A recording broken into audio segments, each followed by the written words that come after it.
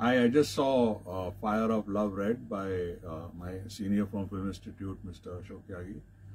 And uh, I really enjoyed it. And I thought of all the James Hadley films and the Robert Ludlum films that I've seen. And it's a thriller that uh, has got a lot of turns and twists and shot very well within limited locations. And I really enjoyed it. And all the best to you, Mr. Tyagi. And looking forward to many more such films from you.